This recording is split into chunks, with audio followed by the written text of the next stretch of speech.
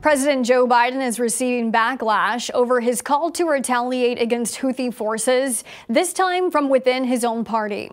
Some Democratic lawmakers are questioning why he bypassed Congress in the decision to launch a retaliatory attack, since the Constitution requires military action be authorized by Congress. The Iranian-backed Houthis have disrupted international trade by launching attacks like this on commercial ships in the Red Sea. The Houthis have been relentless in their ambushes. They have launched dozens of attacks since the Israel-Hamas war.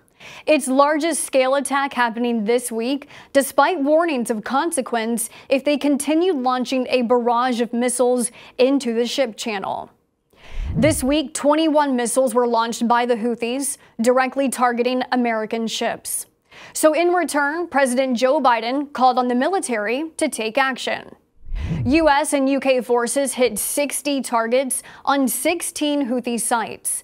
Then Biden said if the Houthis continue their attacks, they'll be hit again.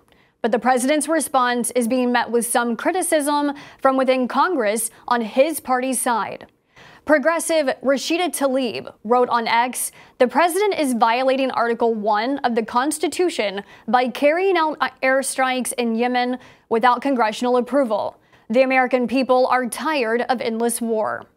A shared sentiment from progressive Cori Bush, the people do not want more taxpayer dollars going to endless war and killing civilians.